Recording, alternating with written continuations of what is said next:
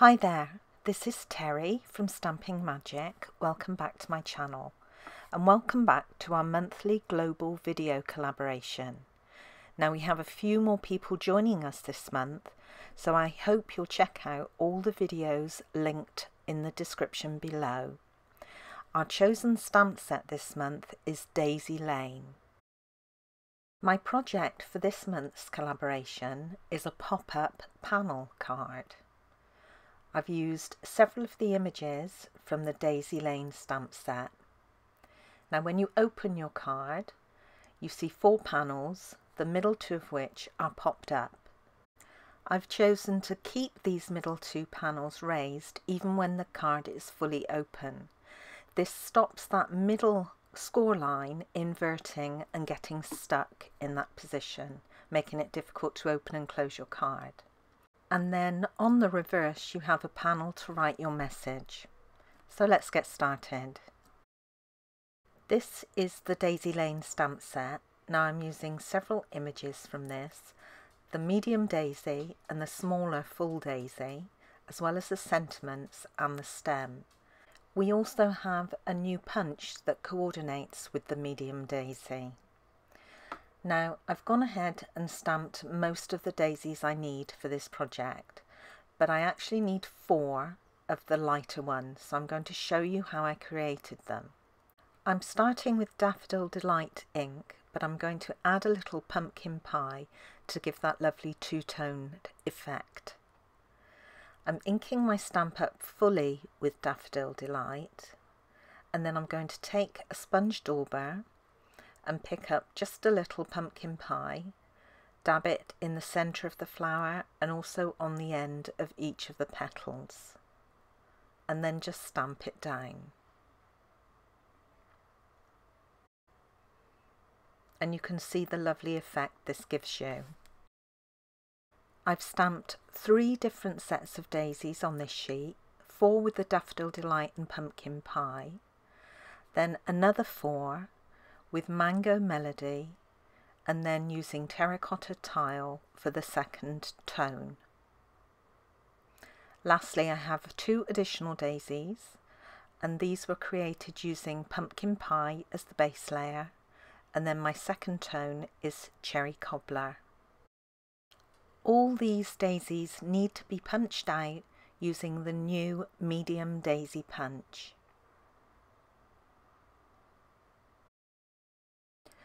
On the back panel of my original card there's one daisy that I've stamped and then cut out by hand.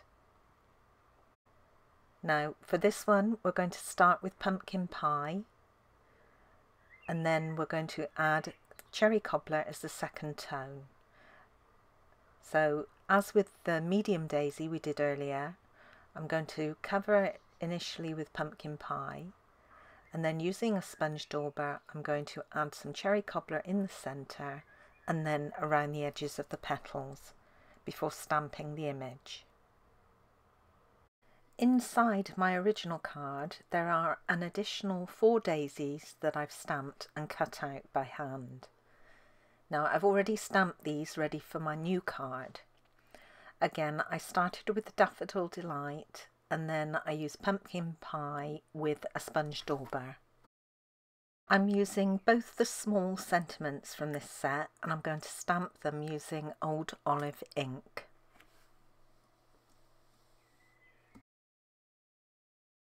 I'm going to cut these out using the two smallest stitched shapes oval Framelits. Then I'll create mats from pumpkin pie card using the layering ovals Framelits. I used one of the square stitched shapes Framelits to create the white mats for the panels and then I use one of the layering square scallop Framelits to create a pumpkin pie mat to go under each of them. I'm going to do the stamping for the panels next. I'm starting with the one under the sentiment. I'm using Daffodil Delight ink and the small daisy stamp and I'm just randomly stamping it all over this first panel. For this second panel, all I need to stamp is the stem in Old Olive ink. I'm going to add the daisy and I'm using two of the ones I stamped in Mango Melody and Terracotta Tile. So I'm going to add glue to the centre of one of them and then layer the other one on top, just offsetting the petals.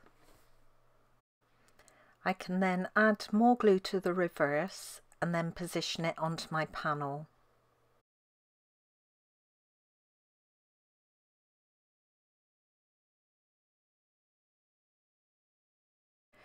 The last two panels are mirror images of each other. I'm starting with the pumpkin pie daisies and I'm going to use a sponge dauber to add some cherry cobbler ink just around the edge of the petals and in the centre of each flower. And I'm going to stamp one twice on each panel.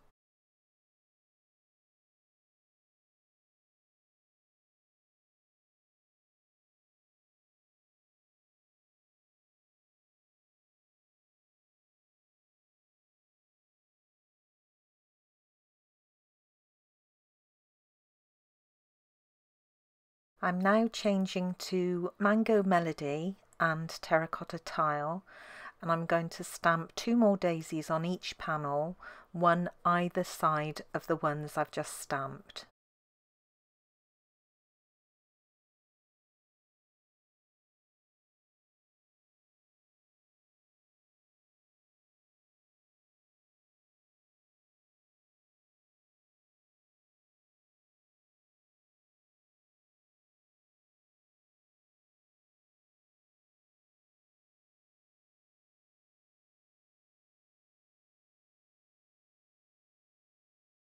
I can then go ahead and add the four Daffodil Delight daisies that I cut out earlier onto these panels.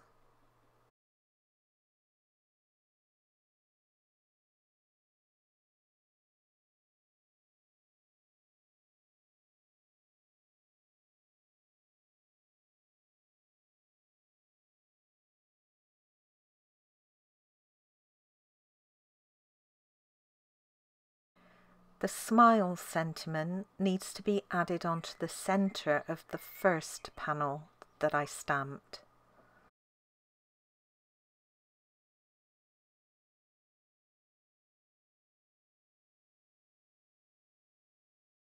I've gone ahead and stamped the back panel and I've added the pumpkin pie daisy that I cut out earlier. If you're in the UK, this white panel should measure 14 centimetres by 9.6 centimetres. If you're in the US, it should be 5 and 1 eighths of an inch by 3 and 7 eighths of an inch. Now the pumpkin pie layer for underneath is 14.4 centimetres by 10 centimetres or if you're in the US it's 5 and a quarter inches by 4 inches. The front panel and both inside panels also have the same measurements and I've gone ahead and stamped the front panel as I did that small panel for the inside. Now the paper is from our new 6 inch Brights stack. It's in Daffodil Delight. All the remaining daisies need to be prepared for the front of the card and this is just a case of stacking them on top of each other in pairs. And then we're going to shape them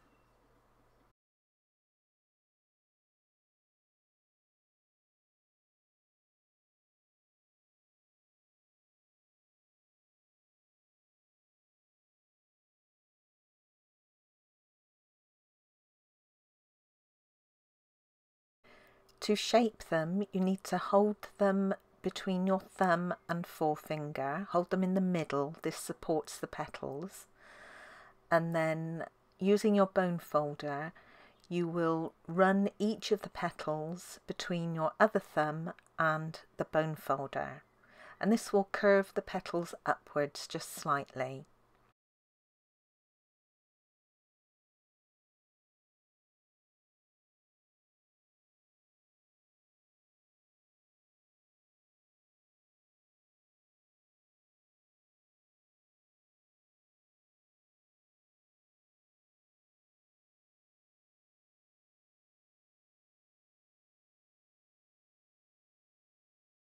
I have two additional layers for the front of the card and this white layer measures 14 centimeters by 4.1 centimeters or if you're in the US 5 and an eighth of an inch by 1 and 5 eighths of an inch.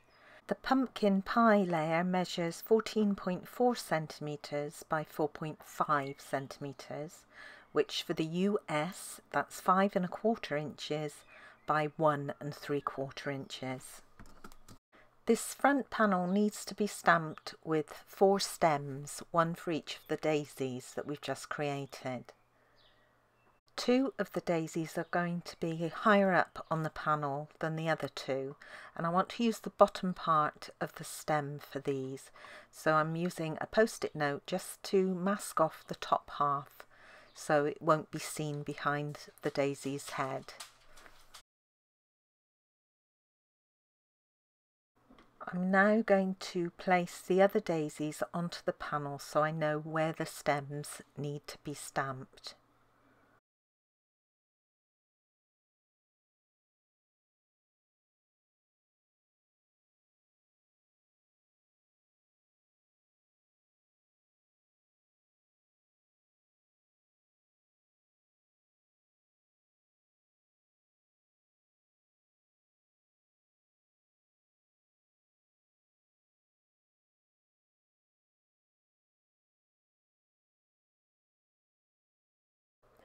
I won't actually set these daisies into position until one of the last things I do when putting this card together.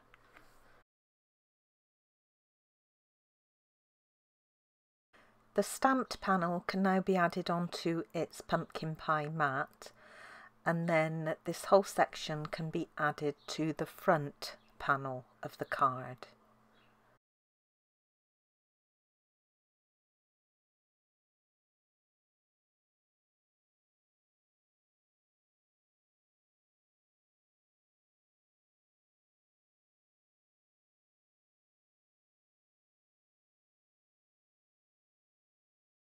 My card base is a side opening landscape card.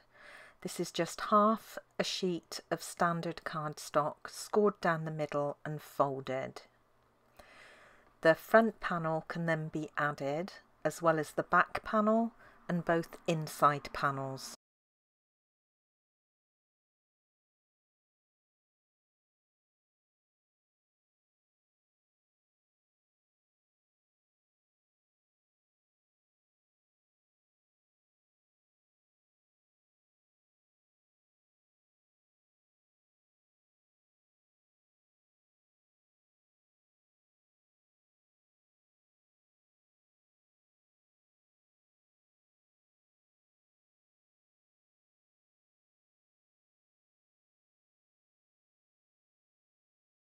To create the pop-up strip that goes inside the card, you need a length of old olive cardstock as long as your normal standard card size.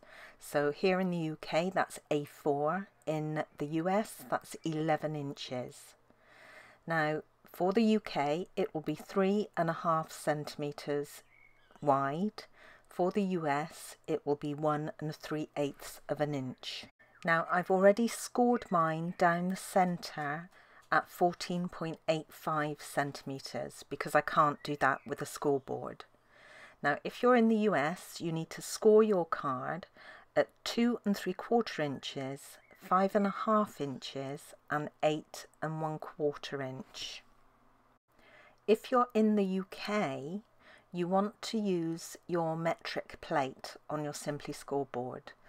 And on this plate, over on the left hand side, you've got a 7.4 mark and you want to score at 7.4 centimetres on both sides and do this on the reverse. This strip has already been stamped using the small daisy and old olive ink all over the right side. All the small panels can now be added onto this strip. You've got four sections and you position each one in the middle of the section. I'm just using my grid paper to help me centre each one. Now when I add the glue, I'm keeping the glue away from the edge, which is not what I normally do. Um, this is just to ensure that it doesn't ooze out onto the back of the panel.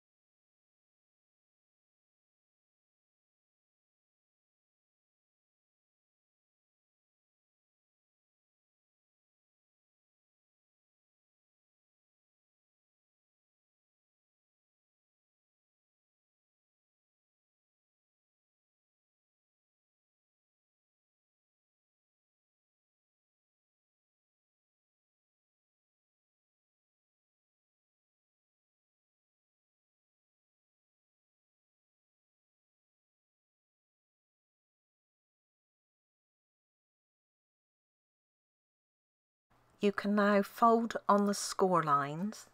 The middle one needs to be a mountain fold and the other two need to be valley folds.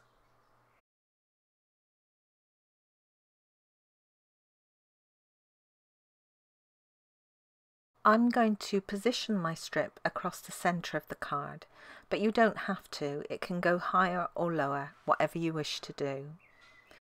The glue goes on each end panel. Now I've also added pencil marks on the edges of my card just to help me position this centrally across. And you take the edge of the strip and you align it with the pumpkin pie layer so it comes in from the edge of the card. The same with the other side.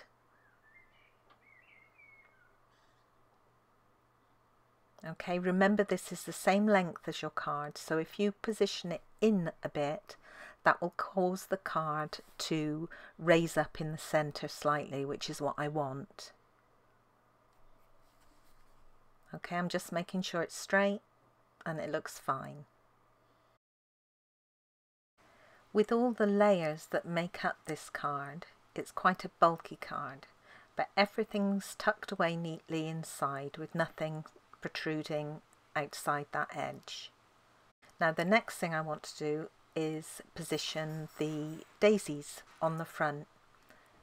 I couldn't do this before because they would have been crushed while I add the pop-up panel.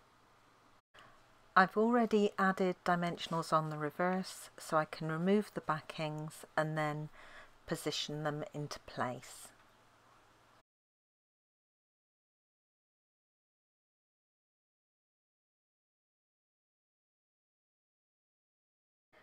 I can now position the friend sentiment panel onto the front of the card.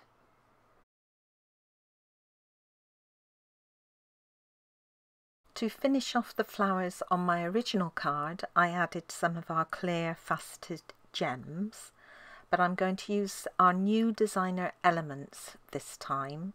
These come in three antiqued finishes, copper, gold and silver, and I'm going to use the silver ones.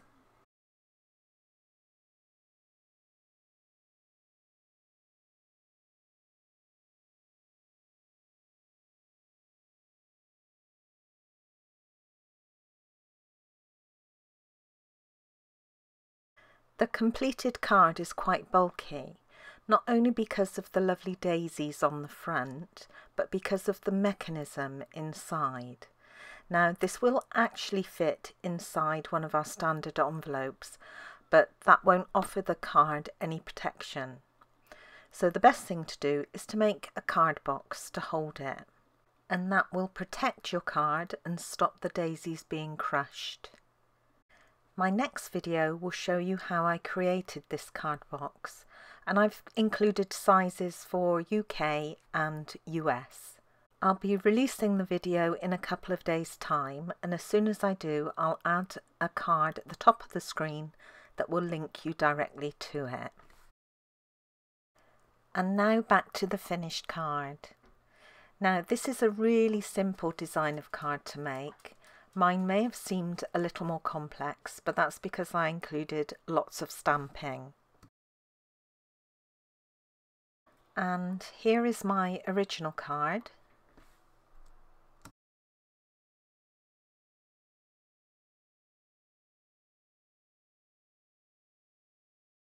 Both cards are really lovely, but I do prefer the newer one, I think.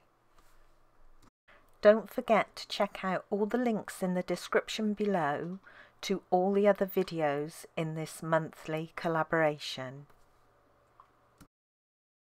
Thank you for joining me today. I hope you enjoyed this project.